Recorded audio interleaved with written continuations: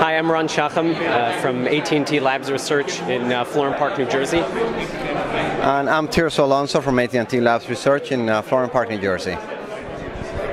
So we have here um, one of two applications of the uh, of this uh, translation um, that's part of the speech technology in, in AT&T Labs uh, research. Uh, and this is SMS translation, so we have um, using a, a completely uh, ordinary native SMS client and all the translation in the, in the network.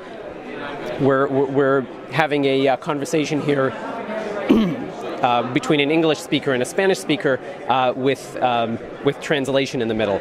So when I um, reserve a hotel, I say, hello, I have a reservation at your hotel. Uh, and uh, it's translated on the uh, on his uh, and, and sent to his phone um, in uh, in Spanish. Um, after he when he responds in Spanish, then it uh, is sent to my phone in English, and um, that's how the, the entire conversation um, um, continues.